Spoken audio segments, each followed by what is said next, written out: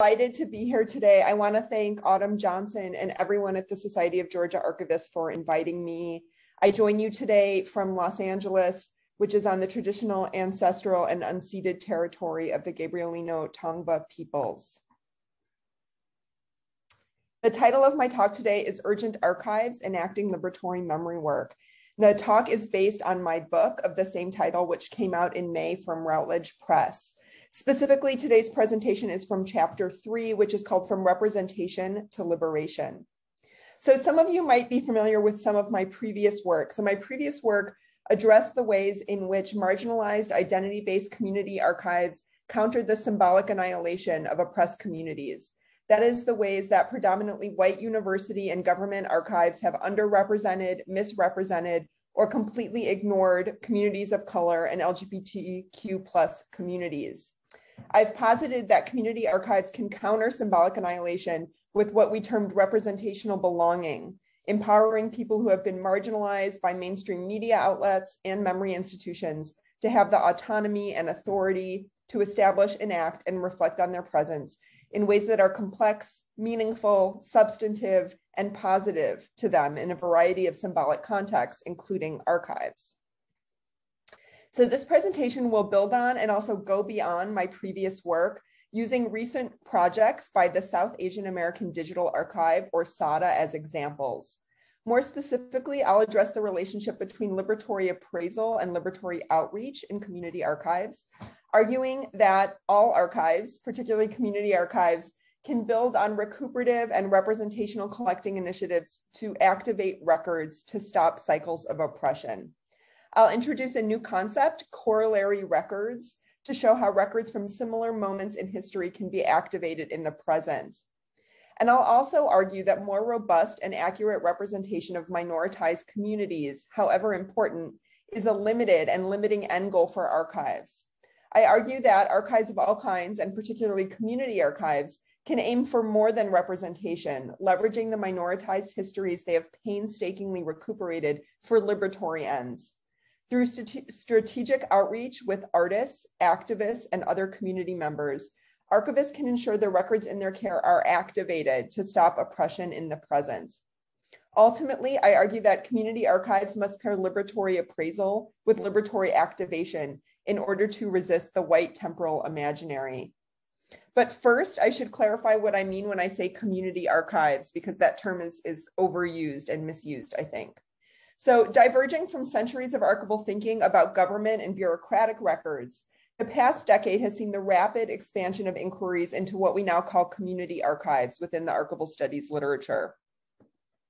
The first attempts to describe the community archives phenomenon emerged from the UK. So writing in 2009, Andrew Flynn, Mary Stevens, and Elizabeth Shepherd write, quote, a community is any group of people who come together and present themselves as such and a community archive is a product of their attempts to document the history of their commonality. And then they later continued, the defining characteristic of community archives is the active participation of a community in documenting and making accessible the history of their particular group and or locality on their own terms. And that's bolded and italicized here, on their own terms, because I think that's the most important thing about community archives. So I think this is a fantastic first shot at a definition. I think it re requires some refinement in our current context. Um, more specifically, I think that we can't discuss the phenomenon of community archives in the US without addressing power inequities. And I think here we can broadly define community archives into two categories, those that represent and serve dominant communities, such as some, but not all, but some historical societies that are often invested in white supremacist histories as a way to maintain or increase property values, and those that represent and serve underrepresented, marginalized, minoritized, and or oppressed communities. And it's this latter group of community archives that I'm most interested in. Um, we might call them more specifically minoritized identity-based community archives, in which the history held in common coalesces around a shared history of oppression be it white supremacy, heteropatriarchy, colonialism, capitalism, ableism, and their complex intersections, um, and coalesces around a shared experience of that oppression and a shared experience of resisting that oppression. Furthermore, I think it's important to distinguish independent community archives from what we might call community driven or community accountable collecting projects located within dominant institutions. And we can discuss why later in the Q&A if you're interested in that. Um, so when I say community archives, I mean independent, minoritized, identity-based community archives, which is clunky and doesn't translate easily into a nice acronym. Um, and one other point of clarification, although this talk draws on my experiences as the co-founder and an ongoing volunteer and advisor for the South Asian American Digital Archive, I have not directly worked on the specific projects I'm going to be discussing, other than digitizing some of the collections from which the projects draw and providing some general feedback. I'm in constant conversation with SAADA's executive director and co-founder, Samip Mallick, and I often provide informal advice on project ideas and implementation. But I can't claim to stand entirely apart from the work addressed in this talk. I make no assertions of being an outside objective researcher, though I am a white outsider to the South Asian American community um, but I am an integral component of the phenomenon my work describes in a manner consistent with participant observation as a research method. I also cannot claim ownership or take credit for most of the archival labor described herein, and I shift from using we or they pronouns in discussing the work of SAADA when appropriate. So I'll get started now with all after all those caveats where I usually do, which is with the South Asian American Digital Archive. So speaking at a July 2020 community-wide Zoom meeting, SAADA Executive Director Samip Mallick said, quote, as an organization, even though we are thinking about and engaging with the past, our work has really always been about the present, the now, end quote. The meeting was called by Mallick in the midst of three intertwined crises that we're all familiar with, right? A global pandemic that had disproportionately devastated Black, Latinx, and Indigenous communities, the ongoing state sanctioned murder of Black Americans brought to the fore by the murder of George Floyd, and at that point in time, inept, malfeasant white supremacist national leadership in the White House. Samip's email promised, we have some good news to share in the midst of this challenging time. And I think we all really could have uh, needed to hear that good news. So the July 2020 meeting was an opportunity to celebrate the organization's 12th birthday, to announce a new grant from the Andrew W. Mellon Foundation that would help support the organization for the next two years and to launch a fundraising campaign with supporters. It was also an opportunity to demonstrate the archive's value by drawing on corollary moments from the community's past to make sense of the seemingly senseless and increasingly overwhelming present. At that moment, that meant activating records in SAADA's collections to inspire action around three major events the COVID 19 epidemic, the movement for Black Lives, and at that point, the then upcoming 2020 election. So there is little doubt we are living through a historic moment, reads the opening text of SAADA's participatory initiative to document South Asian American experiences of the COVID 19 pandemic. Launched in April 2020, the project, which is called Letters from Six Feet Away, asks South Asian Americans to write a letter to their future selves about their experiences with the pandemic. With the creator's permission, the letters are included in the archives and mailed to the creator in the future in hopefully better days ahead. Initially, we thought that the letters would be mailed exactly a year after they were written, and that has been delayed as the end of the pandemic, too, unfortunately, has been delayed. Participants respond to a series of prompts online, upload a photograph of themselves, designate degrees of privacy or publicity from a continuum of options provided, and submit a mailing address in which they would like their letters sent back to themselves in the future. There's also a space to honor a loved one who passed during the crisis. The submissions that are public are deeply personal and self reflective, yet collectively offer a window into a wider community ethos of grief, feelings of isolation, and the search for solace. In these letters, historic traumas surface and resurface as South Asian Americans learn to cope with the new reality. For example, in her public entry to the project, Samira Ghosh of Texas writes, quote, I would remember the first news that we needed to store food. My first instinct was to buy rice and salt at Gandhi Bazaar. It was a reaction to a historic trauma that my community went through. Bengal had, Bengal had a big man-made famine post-World War II, and rice and salt were in scarcity. I had heard stories of what my family went through. I was surprised that this deep seated insecurity had surfaced. So the Bengal famine of 1943 emerges as a powerful intergenerational memory being relived, even though the writer herself had not directly experienced it. She continued that getting groceries delivered in the early days of quarantine, quote, felt like Christmas morning. For some participants, the pandemic surfaced deeply ingrained traumas and enacted circular temporalities as if history was repeating itself, oceans away, decades later, in a vastly different context. The letters are created to be read at a non corollary moment in the future. It's the hopes that when the pandemic has presumably subsided, or at least its demands on us are substantively different, that activating these records by reading them will reveal some new insight into what then will be that present moment. The project builds community also by providing a platform for letters to be shared with each other. But most importantly, I think it underscores the emotional importance of the creation of records to participants. Those who write letters to themselves, I think, feel validated, heard, documented in the historic record, even if they chose not to share their letters with others. In the future, the project transforms record creators into records users as participants read their own letters from the not so distant past.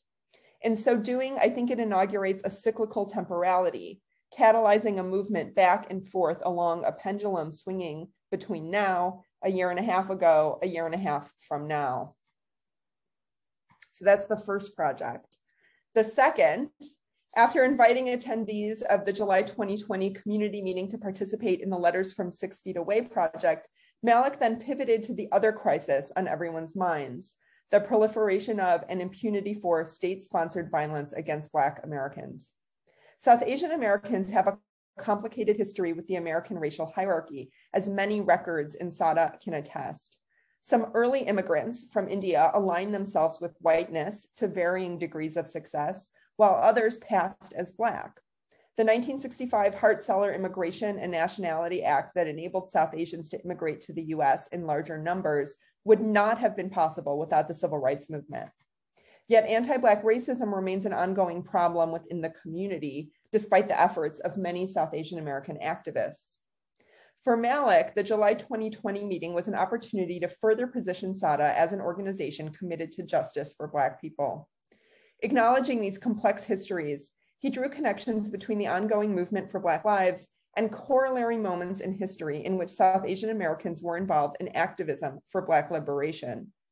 He also directly confronted anti Black racism within the community and did not gloss over its history of aspirational misalignment with white supremacy.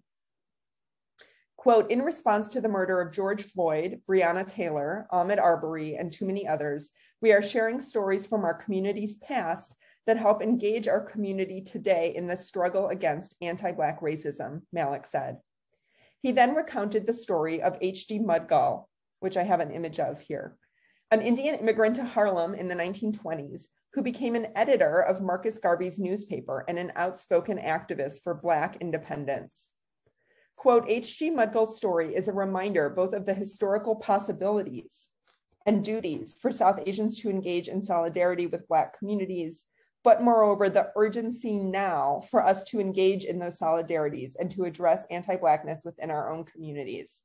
Mallick continued, quote, to be able to share these stories from the past, to be able to engage with contemporary discourse and dialogue and movements has been really rewarding and enriching for us as an organization. And I hope they help to move our community as well. So Mallick's comments reflect, I think, a temporality of urgency in which records from the past are invoked to inspire contemporary political action. In this way, the 1920s are set up as a corollary moment to the 2020s and records documenting H.G. Mudgal from the 1920s are set up as corollary records to those being created by South Asian American activists fighting anti Black racism now. By catalyzing corollary records from corollary moments, Mallick showed precedent for South Asian American solidarity with Black Americans, evoking historical possibilities, as he put it, that align the community with the contemporary movement for Black lives. These activations forge a cyclical temporality that dispenses with the racial progress narratives of white time, what Charles W. Mills calls white time, Instead of insisting that it gets better for minoritized communities, these efforts show how oppressive histories repeat, how historical possibilities can be invoked to afford to forge affinities and solidarities in the present, how a precedent of anti-racist activism can inspire action for Black lives in the now. In this work, archives become urgently relevant and crucially contemporary. The current moment demands more from the archives than simply documenting these stories of solidarity in hopes that some future users might find and use them. Instead, SAADA catalyzes these records into action to forge corollary moments across cycles of time and to create a temporality of urgency for the community it serves and represents. So Mallick's final announcement at the July 2020 meeting also conveyed the urgency of the past by forging yet another corollary moment with the present. Looking ahead to the November 2020 US presidential election, what was then ahead, Mallick discussed a video SAADA produced in May 2020 featuring Rani Bagai, whose grandparents, Vaishno Das and Kala Bagai, were among the first immigrants from India to the US, arriving in 1915. And I will play this video for you now. So I'm going to stop sharing this screen and I'm going to share a different screen to play this video. Give me one second.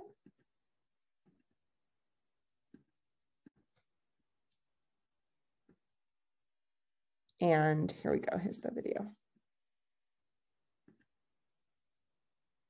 Why does your vote matter?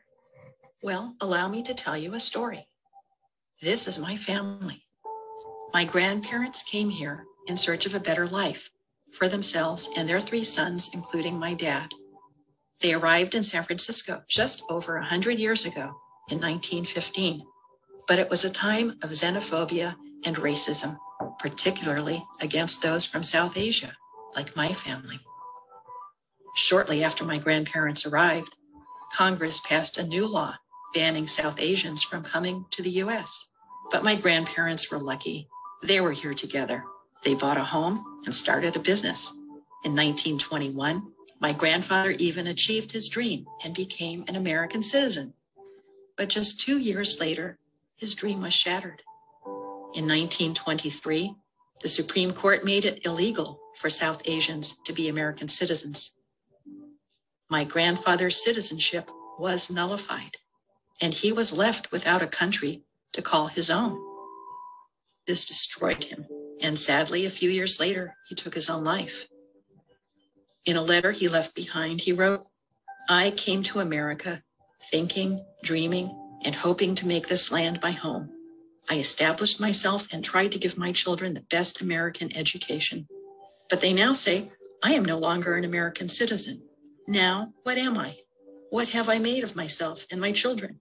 We cannot exercise our rights. Is life worth living in a gilded cage? It was more than 20 years later before the laws were changed and South Asians, including my dad and my grandmother, could finally apply for American citizenship. This is why voting matters. I hope my family's story is a reminder of what we've endured to get the rights we have now, how easily they can be taken away, and how hard it is to win them back. If you haven't yet, please register to vote right now. And please, please vote in November.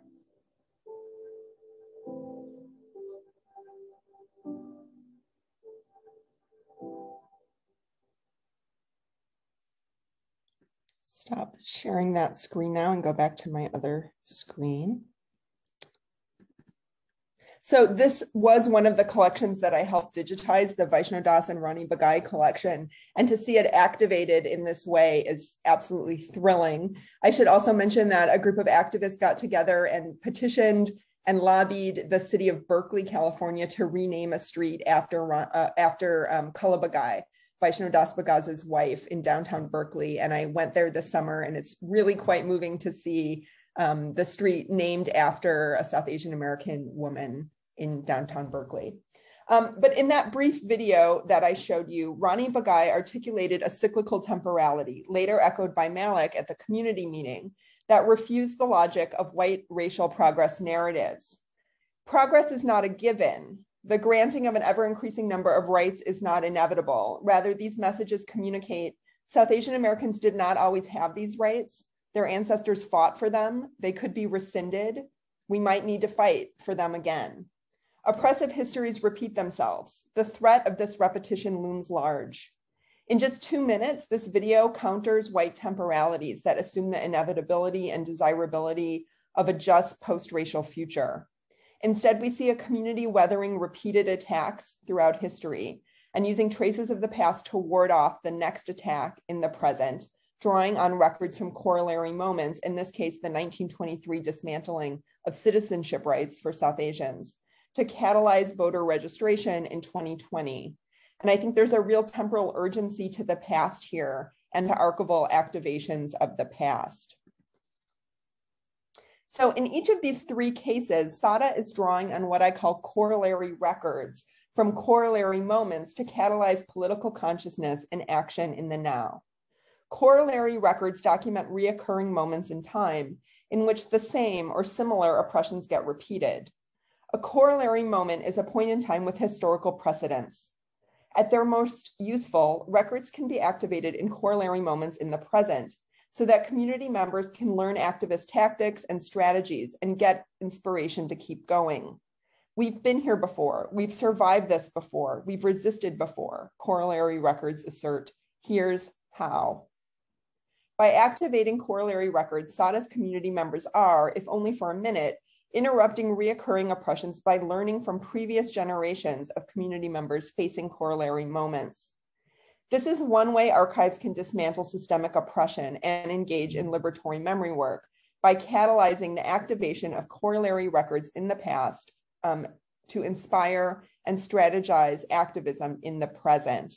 And I'll exit my screen share now and you can just watch me talk for a while here.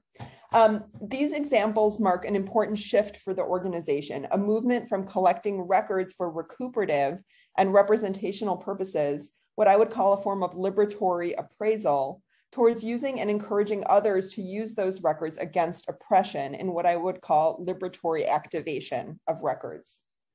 In the initial years of working with SAADA, Mallick, other volunteers, and I were stunned with the amount of materials we found that dated back before 1965, when US immigration law changed to enable greater numbers of South Asians into the US. Back in 2008, when we founded SAADA, we had read about California's early Punjabi Mexican communities. We had heard rumors about a few anti colonial activists along the west coast of the US and Canada from the turn of the 20th century, but we had no idea the wealth of records we would find once we really started to look. We feverishly collected as many pre 1965 records as we could find, thrilled to fill in some of the gaps and silences we had found when we looked for South Asian American stories in mainstream repositories like the US National Archives and Records Administration and dozens of university archives.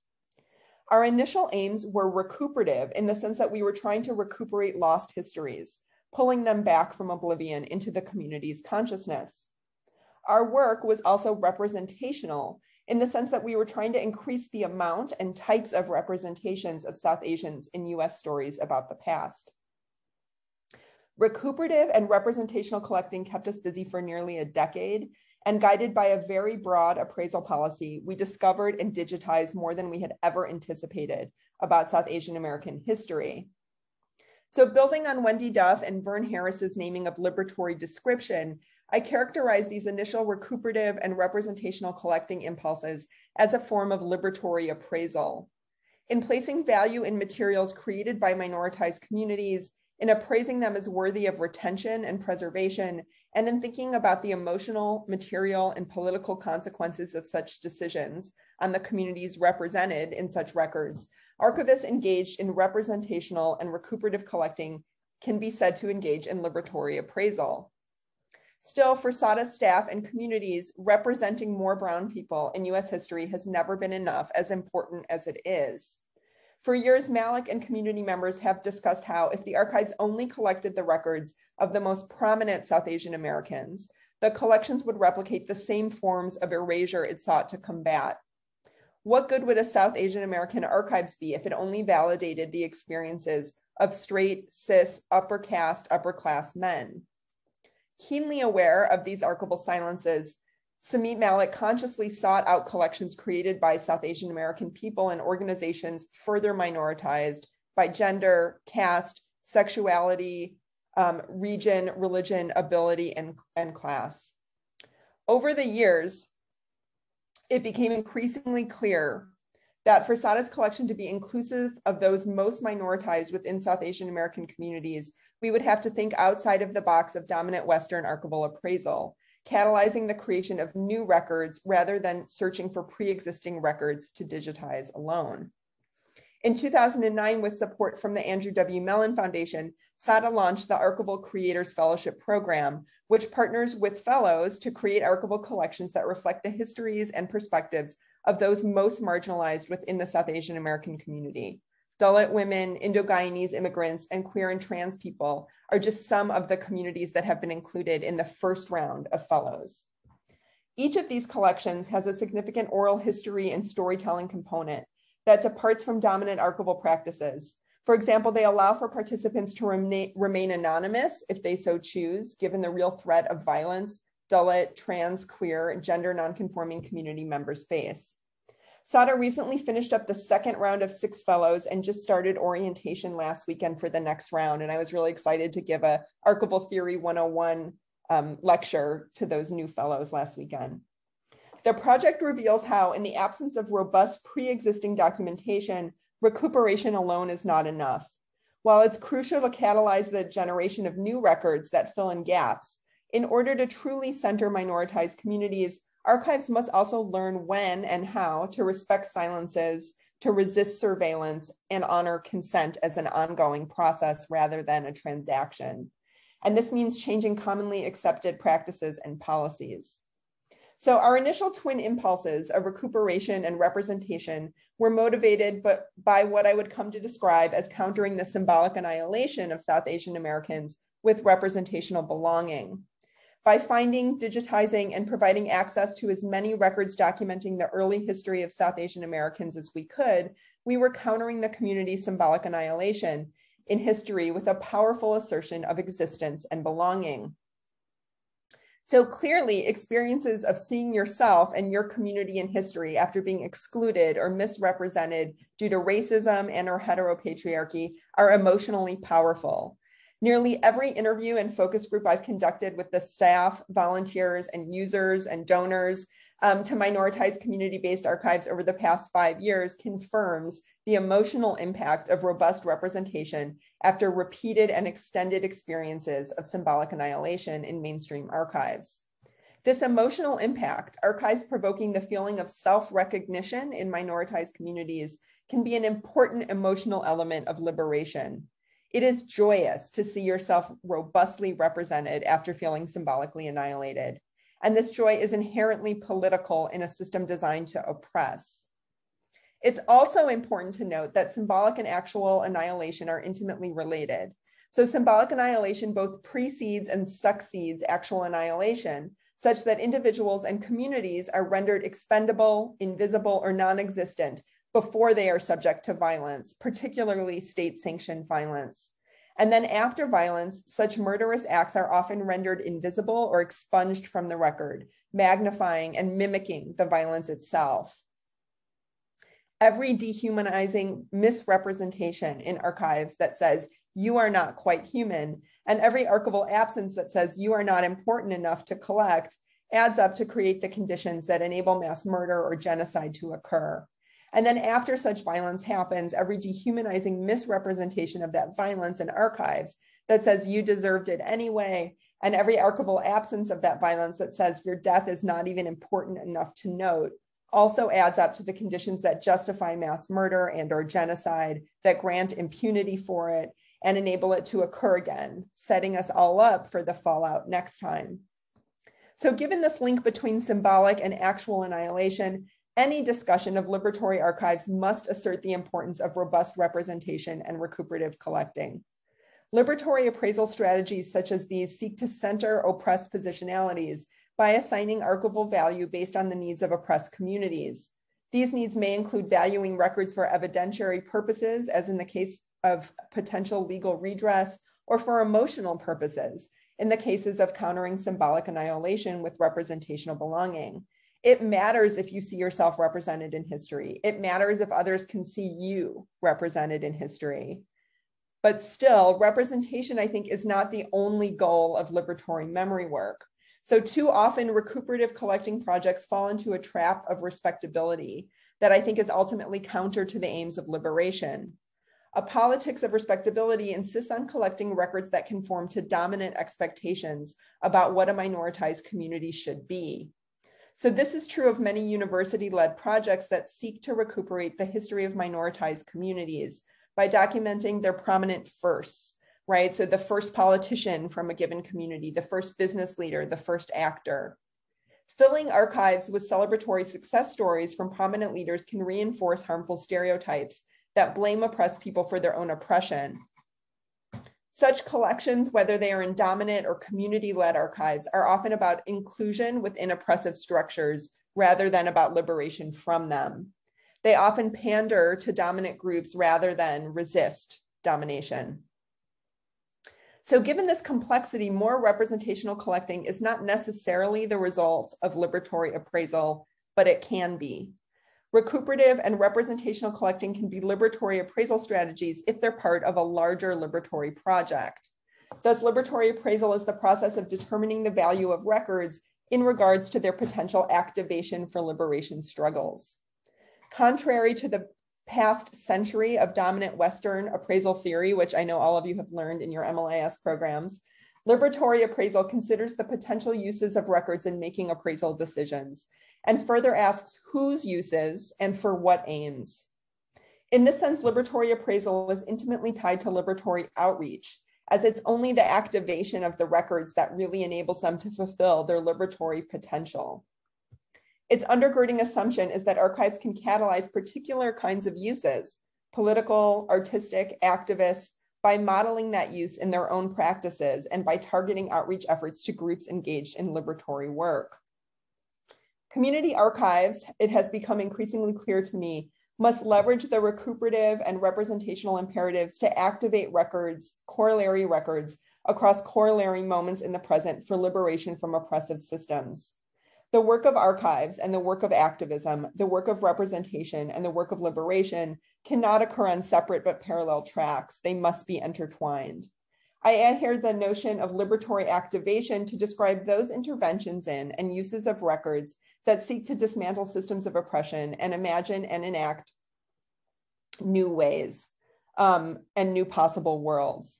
It's not enough for archival institutions to collect records documenting minoritized communities and or activist movements with a vague notion of some potential future use. These records must be activated by archivists and users for liberation struggles now.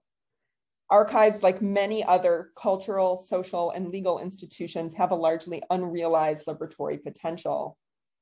So realizing the imperative for liberatory archival activation changed how I did work for SAADA, how I discuss SAADA's work with others outside and within the organization.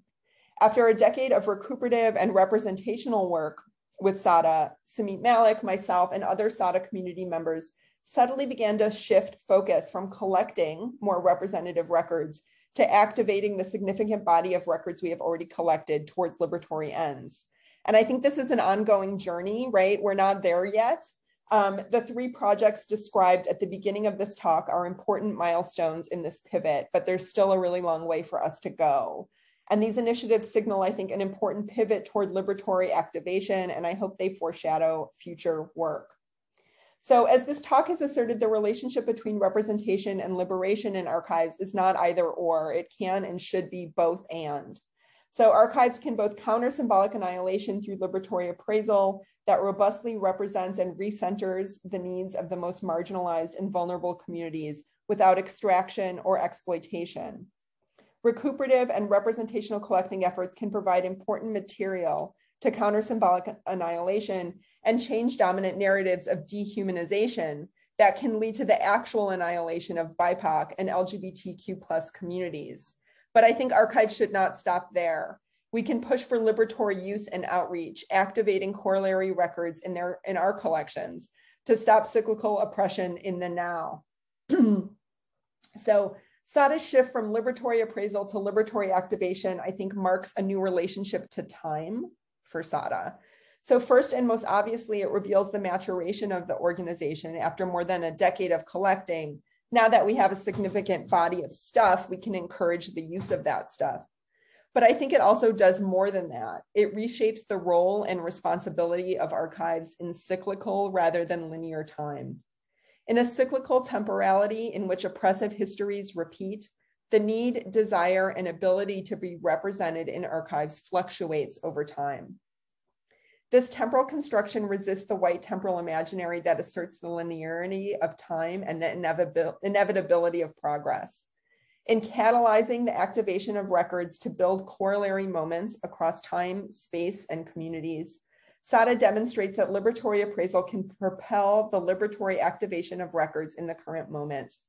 Liberatory activations will shift over time, I think, as the political climate and needs of minoritized communities shift in response to these repetitions of oppression. Refusing the stable logics of white temporality is a critical aspect of liberatory memory work that must be enacted in tandem with material redistribution of resources, as I argue in my book. And I'm wrapping up here with one other important point.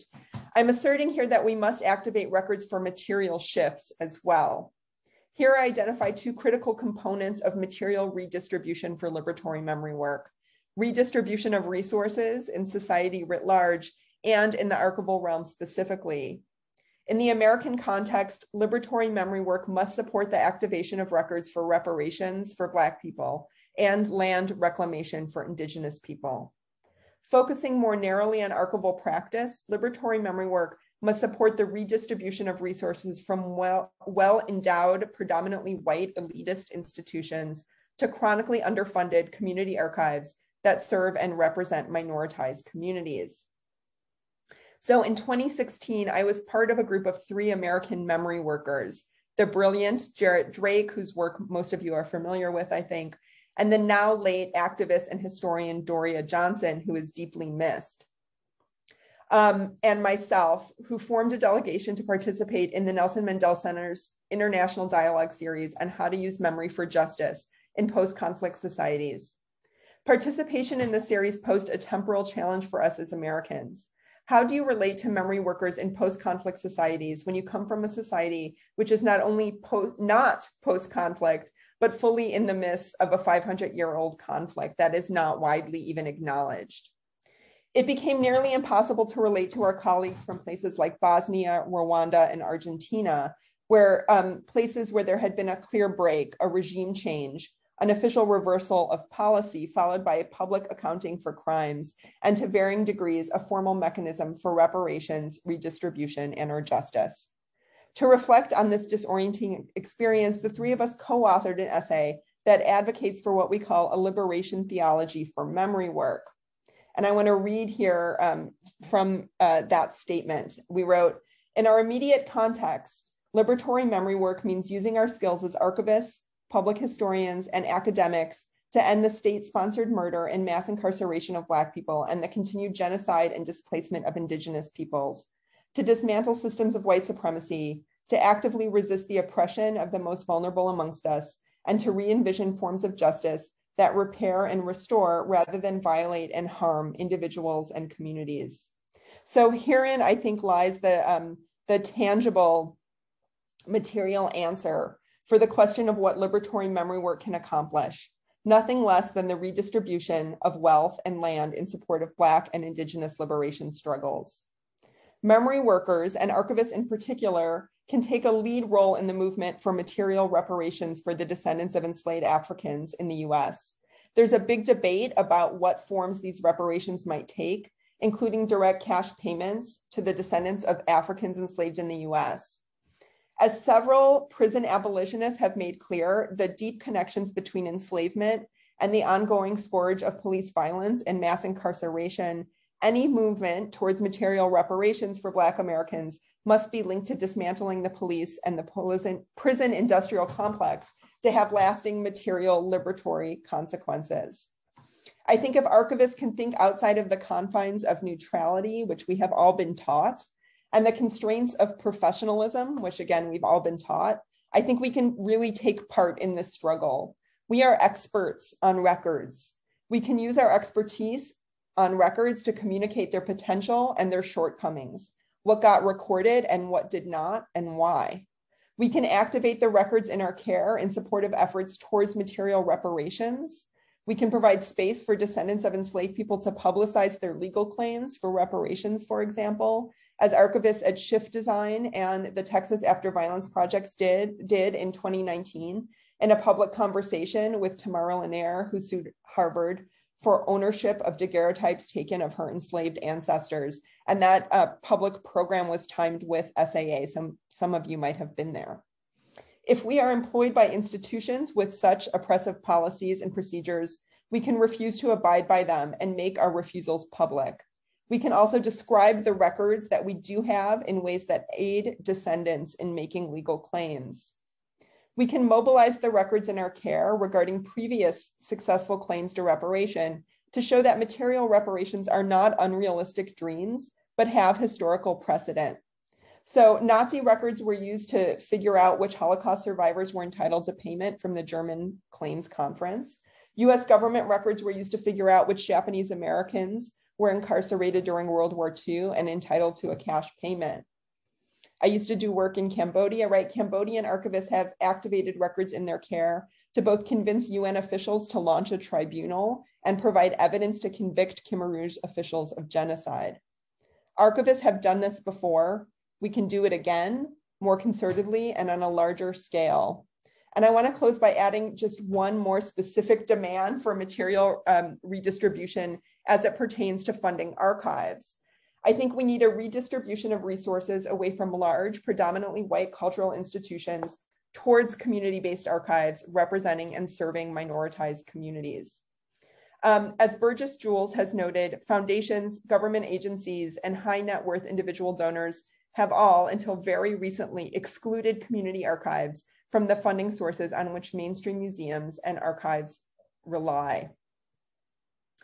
Um, I've seen an LA based community archives launch a life changing exhibition on a $12,000 a year annual budget organized by an army of volunteers, while across town in an hour of traffic, give or take, depending on LA uh, rush hour, the Getty Center spends millions conserving every last trace of white male detritus that very few, if any, people will ever touch by design.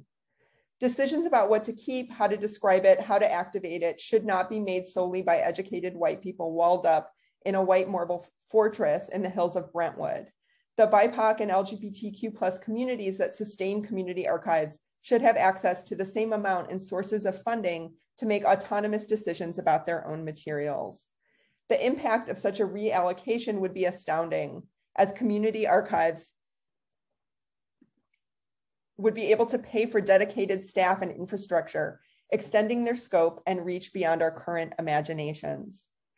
So in closing, liberatory memory work demands emotional, temporal, and most importantly, material shifts of us. I want us to ask what if? What if archivists let go of our oppressive concepts and systems and structures that we have all inherited as a profession and imagined a new way of doing things, right? What if what if we were able to activate the records in our collection, not just for more robust representation, but as tools for human liberation? And I'll leave you with that question today. Um, I'll stop talking now, and I think there's time for questions.